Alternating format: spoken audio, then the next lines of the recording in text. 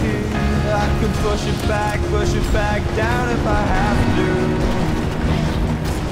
If you want me to. Cause we